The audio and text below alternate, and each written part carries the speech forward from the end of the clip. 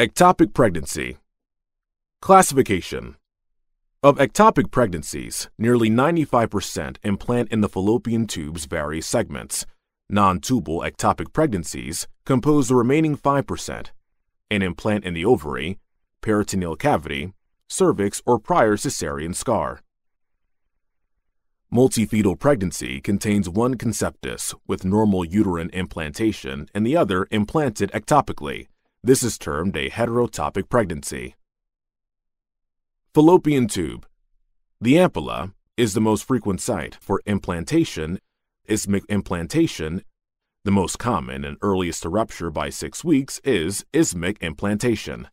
Fimbrial implantation and interstitial implantation least common. Last to rupture is interstitial pregnancy by 12 weeks. Ampullary and fimbrial implantation are prone to tubal abortions. Regardless of location, D negative women with an ectopic pregnancy are given anti D immunoglobulin. In first trimester pregnancies, a single intramuscular 50 or 120 microgram dose is appropriate. Later gestations are given 300 micrograms. Risk factors The most common cause of tubal pregnancy is salpingitis. Surgeries for a prior tubal pregnancy, for fertility restoration, or sterilization conferred the highest risk. After one prior ectopic pregnancy, the chance of another nears 10%. Peritubal adhesions that form salpingitis, appendicitis, or endometriosis also raise chances. Infertility and the use of assisted reproductive technologies to overcome it are linked to increased ectopic pregnancy rates. However, some methods more efficiently prevent intracavity implantation, and with their failure, ectopic implantation is favored. These methods are tubal sterilization. Smoking last, with any form of contraception, the absolute number of ectopic pregnancies declines because pregnancy is effectively prevented. Pathogenesis and potential outcomes. With tubal pregnancy, because the fallopian tube lacks a submucosal layer, the fertilized ovum promptly burrows through the epithelium. The zygote comes to lie near or within the muscularis, which is invaded by a rapidly proliferating trophoblast. Potential outcomes from this include tubal rupture, tubal abortion, or pregnancy failure with resolution. Types of ectopic Acute Acute ectopic pregnancies are more common, produce a high serum beta human chorionic gonadotropin level, and grow rapidly, leading to a timely diagnosis. These carry a greater risk of rupture. Chronic With a chronic ectopic pregnancy, abnormal trophoblasts die early, and thus serum beta human chorionic gonadotropin levels are negative or are low and static. Chronic ectopic pregnancies typically rupture late, if at all, but commonly form a persistent complex pelvic mass. This sonographic finding, rather than patient symptoms, often is the reason that prompts diagnostic surgery. Rupture ectopic. Tubal rupture. Tubal rupture is predominantly common in isthmic and interstitial implantation. As the isthmic portion is narrow and the wall is less distensible, the wall may be easily eroded by the chorionic villi. Isthmic rupture usually occurs at 6 to 8 weeks, the ampullary one at 8 to 12 weeks, and the interstitial one at about 4 months. Depending upon the site of rupture, it's known as intraperitoneal rupture. This type of rupture is common. The rent is situated on the roof or sides of the tube. The bleeding is intraperitoneal. Extraperitoneal rupture, intraligamentary. This is rare and occurs when the rent lies on the floor of the tube, where the broad ligament is attached. It is commonly met in isthmic implantation. Clinical presentation The classic triad of symptoms of disturbed tubal pregnancy are abdominal pain, preceded by amenorrhea, and lastly, appearance of vaginal bleeding. Clinical manifestations of ectopic pregnancy typically appear six to eight weeks after the last normal menstrual period, but may occur later, especially if the pregnancy is at an extrauterine site other than the fallopian tube. Amenorrhea. Short period of six to eight weeks. Usually, there may be a delayed period or history of vaginal spotting. Amenorrhea may be absent even. Abdominal pain is the most constant feature. It's acute, agonizing, or colicky. Otherwise, it may be a vague soreness. Pain is usually located in the pelvis and may be diffuse or localized to one side.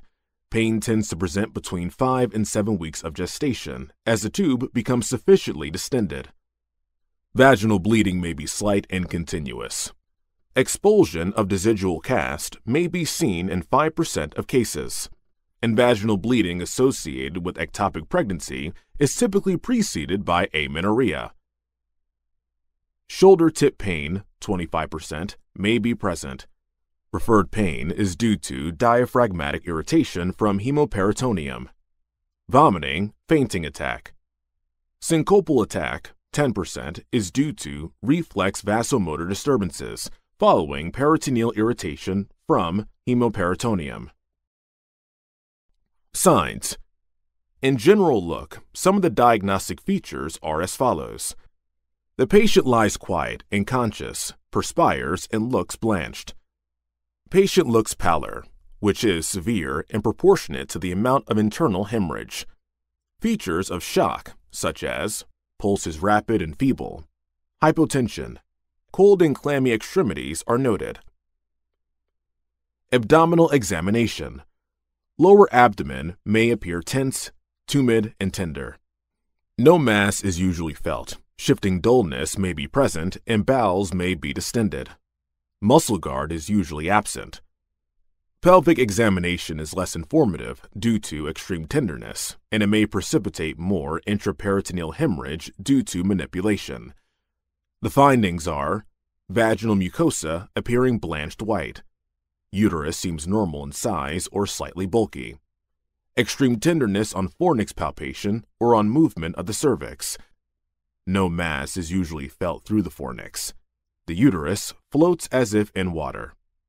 Caution Vaginal examination may precipitate more hemorrhage due to manipulation. Pregnancy of unknown location. If a yolk sac, embryo, or fetus is found within the uterus or the adnexa, a diagnosis is made. However, if no evidence of an intrauterine pregnancy is seen with a transvaginal scan, the diagnosis is a pregnancy of unknown location. So, when on transvaginal sonography, no pregnancy is visualized, serum beta human chorionic gonadotropin is to be visualized. The minimum beta human chorionic gonadotropin to visualize gestational sac on transvaginal sonography is 1500 international units per liter. The minimum beta human chorionic gonadotropin to visualize gestational sac on transabdominal sonography is 5,000 to 6,500 international units per liter. If serum beta human chorionic gonadotropin is less than 1,500 international units per liter, assess serial beta human chorionic gonadotropin every 48 hours. Rise in beta human chorionic gonadotropin by more than 63%, it's an intrauterine pregnancy. If the rise is less than 50% or falls in beta human chorionic gonadotropin, it is a failed intrauterine pregnancy. Rise in beta human chorionic gonadotropin more than 50% but less than 63%, then it is ectopic pregnancy. Abdominal pregnancy. The most common symptom is lower abdominal pain and bleeding. Braxton Hicks contractions are absent. Studdiford's criteria for diagnosis of primary abdominal pregnancy include Presence of normal tubes and ovaries, with no evidence of recent or past pregnancy. No evidence of uteroperitoneal fistula. Presence of a pregnancy related exclusively to the peritoneal surface and early enough to eliminate the possibility of secondary implantation after primary tubal nidation. Management. Surgery is the only treatment. Ovary pregnancy. Spiegelberg's criteria for diagnosis of primary ovarian pregnancy include the fallopian tube on the affected side must be intact. The fetal sac must occupy the position of the ovary. The ovary must be connected to the uterus by the ovarian ligament. Ovarian tissue must be located in the sac wall. Management Surgical ovariotomy or ovarian wedge resection, or medical management with methotrexate for unruptured ovarian pregnancy. Cervical pregnancy. The most common symptom is painless vaginal bleeding. Criteria for diagnosis are Rubin's criteria or Paalman McElin's criteria. These days, ultrasonography criteria, Paalman's, are used. Key ultrasound findings include an echo-free uterine cavity or the presence of a false gestational sac only, hourglass uterine shape, closed opening between the cervix and the corpus, ballooned cervical canal, gestational sac in the endocervix. Placental tissue in the cervical canal can be noted. Management The first choice is methotrexate therapy. Surgical management serves as a secondary option involving procedures like Luc cerclage, followed by curettage, or arterial embolization, followed by curettage. Diagnosis The diagnosis of ectopic pregnancy can be confirmed when any of the following are present.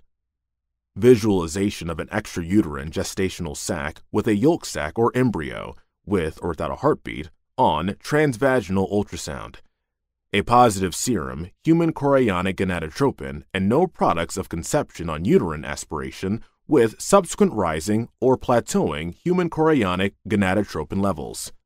Visualization of the surgery with histologic confirmation following resection of ectopic pregnancy tissue. Management Unruptured ectopic. Symptoms Presence of delayed period or spotting with features suggestive of pregnancy uneasiness on one side of the flank, which is continuous or at times colicky in nature. Signs Bimanual examination. Uterus is usually soft, showing evidence of early pregnancy. A pulsatile, small, well circumscribed tender mass may be felt through one fornix separated from the uterus. The palpation should be gentle, or else rupture may precipitate, and massive intraperitoneal hemorrhage when shock and collapse may occur dramatically. Investigations for the diagnosis of tubal ectopic pregnancy. Blood examination should be done as a routine for hemoglobin, ABO and rhesus grouping, total white cell count and differential count, erythrocyte sedimentation rate. There may be varying degrees of leukocytosis and raised erythrocyte sedimentation rate. Culdocentesis is simple and safe. Where sensitive transvaginal sonography or laparoscopy is not readily available, culdocentesis is still a diagnostic alternative. Unfortunately, negative culdocentesis does not rule out an ectopic pregnancy, nor is a positive result very specific. Through an 18 gauge lumbar puncture needle fitted with a syringe, the posterior fornix is punctured to gain access to the pouch of Douglas. Aspiration of non clotting blood with a hematocrit greater than 15% signifies ruptured ectopic pregnancy. Sonography Transvaginal sonography is an investigation of choice.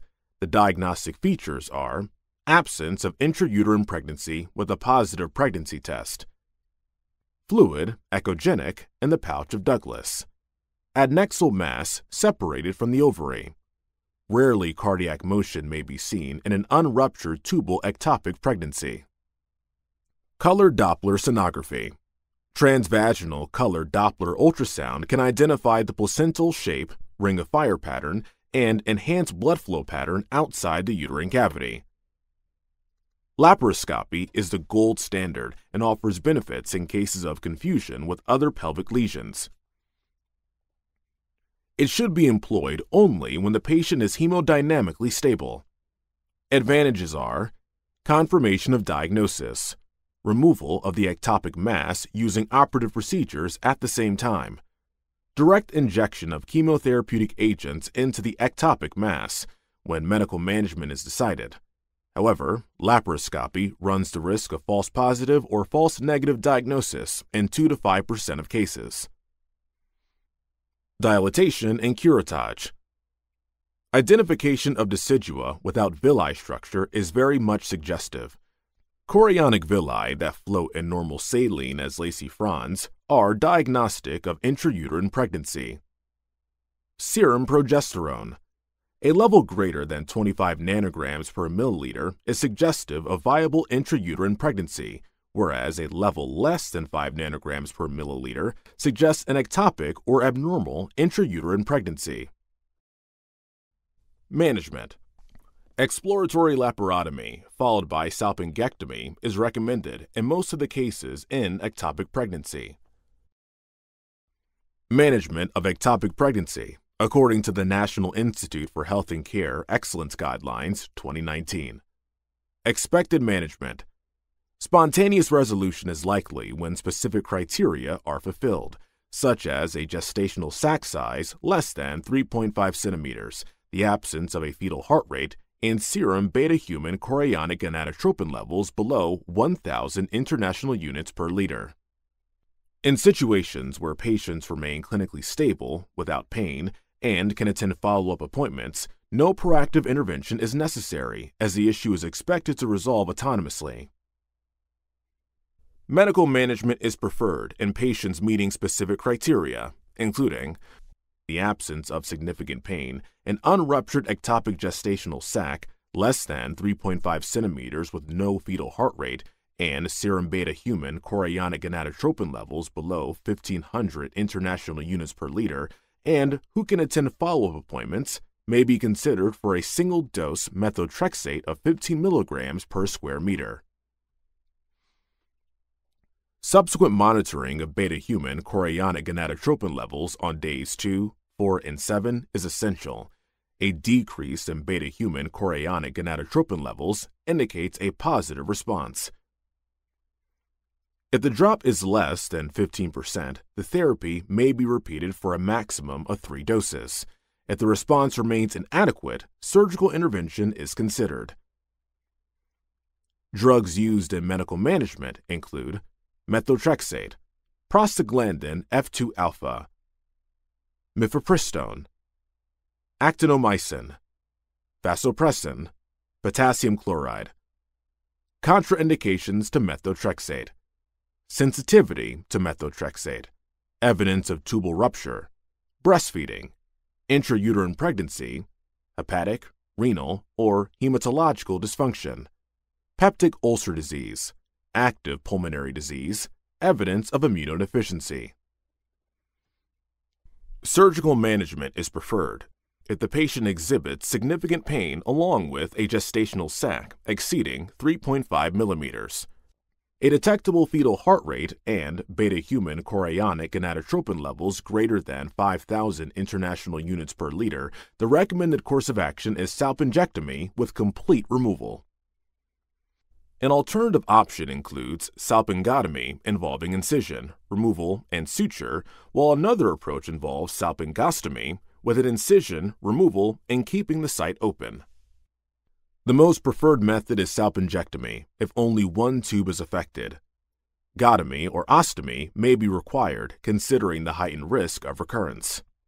Note, if beta human chorionic gonadotropin ranges between 1500 to 5000 international units per liter, either medical or surgical management can be offered. That's all for the video. We'll see you next time.